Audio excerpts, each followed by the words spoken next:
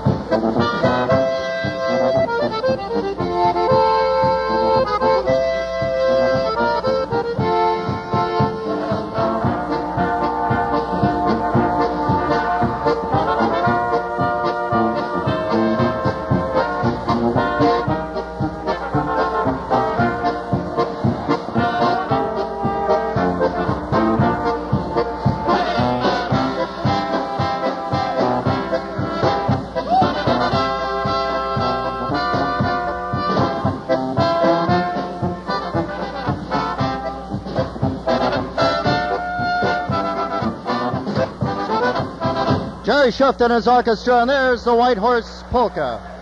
That's one of the good numbers you always play down in Sokol Hall in Omaha whenever you go down there. Nice Nebraska tune there, the White Horse Polka. We'll be back in two minutes. This is KNUJ New Ulm.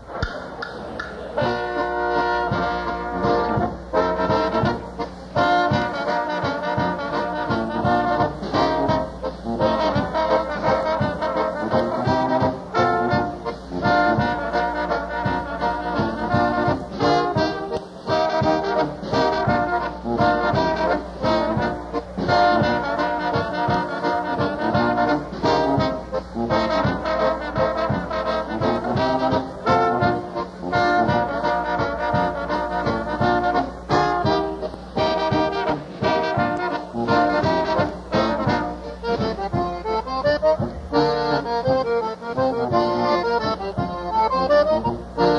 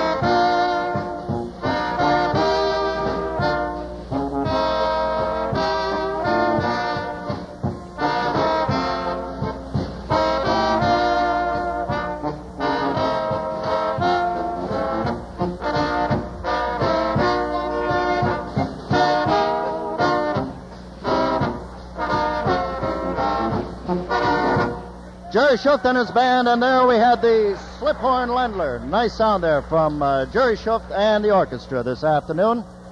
I think it's about time that we introduced you to the uh, member of the Jerry Schuft band, and by chance his name is Jerry Schuft. So, Jerry, good to see you down here today at the New Armory. Well, thank you very much, and uh, good afternoon, ladies and gentlemen. It's really a pleasure being here.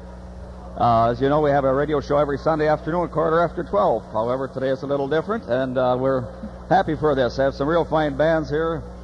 See, Elmer Scheid's about getting ready to uh, setting up there, so we'll be playing coming on right after us.